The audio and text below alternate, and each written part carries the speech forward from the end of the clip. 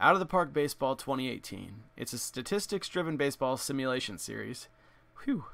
That releases a new version every year, just like the Football Manager series does. I've been playing these games since the 2014 version appeared in the Humble Bundle, so it's probably been about three years now. Each new version adds quite a bit, expanding on the historical data as well as adding new stuff to the software to make it worth buying. The changes that I immediately noticed is the 3D mode, which they've been expanding on every year. Now it has some sort of representation of the action with little peg characters acting out the game as, as opposed to just the icon and text only method they used to use. When I play these games, I tend to use custom leagues entirely of fabricated teams with nothing based on reality. So yeah, they do have plenty of historical data. They've included this past year in baseball so you can replay the Cubs Indians World Series if you want. Personally, I've enjoyed tracking the statistics of fictional teams. That's where I find the fun in Out of the Park Baseball.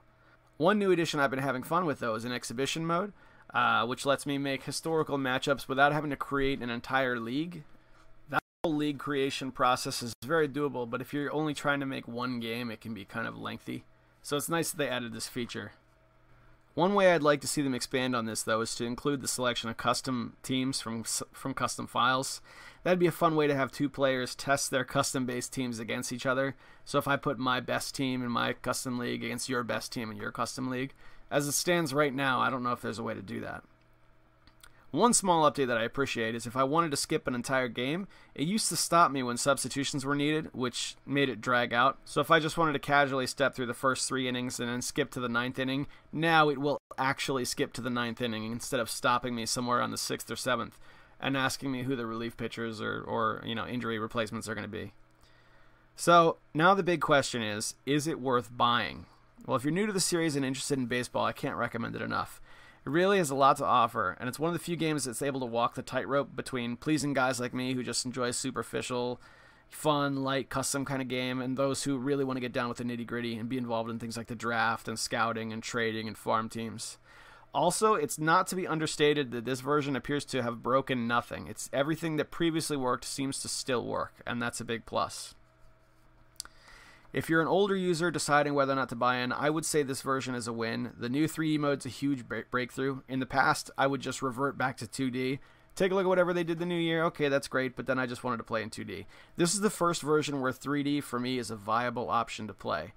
I mean, it's not perfect. You can see portions of the crowd which are cut in half to make the texture fit on the object that represents the stands but it still looks and feels nice. I mean, it, it looks a little bit better every year. This year is a big breakthrough in the 3D department.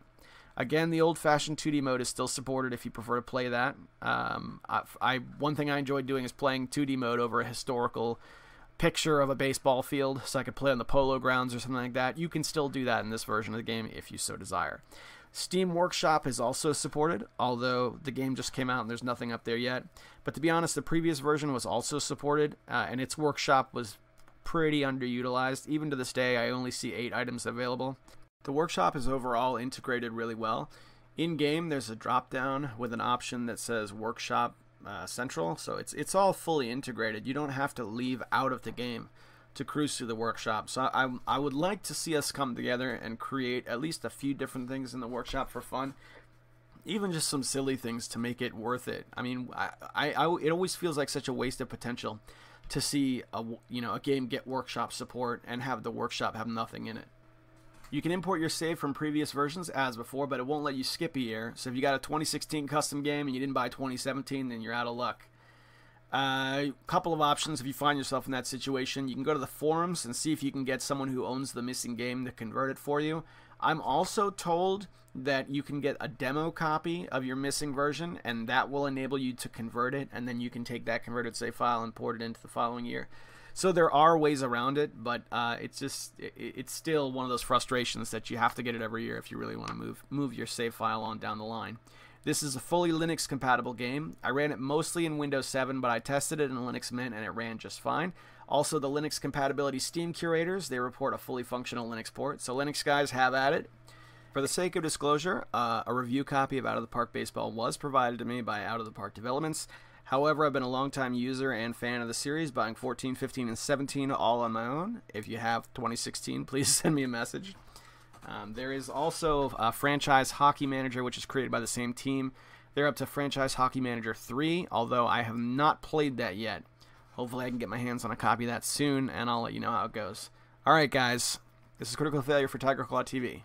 Signing off.